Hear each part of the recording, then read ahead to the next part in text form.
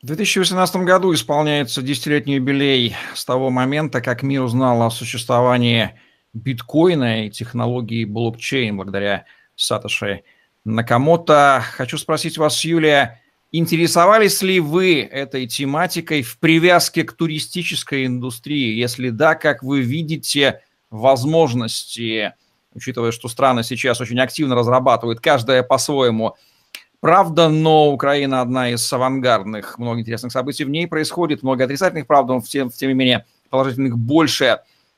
Как вы в этой новой реальности ориентируетесь, как предприниматель, видите ли вы в феноменах криптовалют что-то интересное для сферы украинского туризма? Да, вижу и интересовалась этой сферой, она ну, вообще интересует, много читаю, вообще интересно то, что происходит вокруг, но, а, естественно, было интересно, а, вот как а, как взаимосвязаны. Э, вообще с криптовалютами пришли ко мне, сказали, э, вот ты разбираешься в туризме, мы разбираемся в криптовалютах, давай как-то это соединим.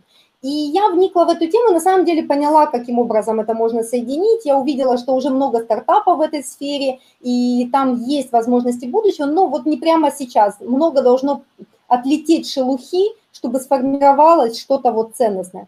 Но вообще сама идея блокчейна в туризме мега применима.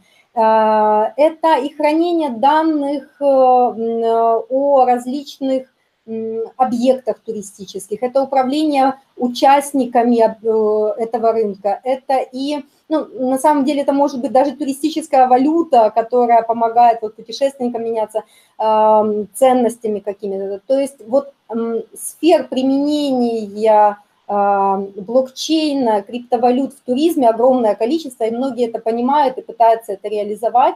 И я думаю, что это, это очень динамичная, живая сфера, на ней многие вообще технологии пробуются. Э, я больше даже верю, ну, в блокчейн понятно, это само собой, это уже, знаете, вот это просто алгоритм, и он будет. И вот более такой алгоритм, который быстрее мы его результаты увидим, это искусственный интеллект.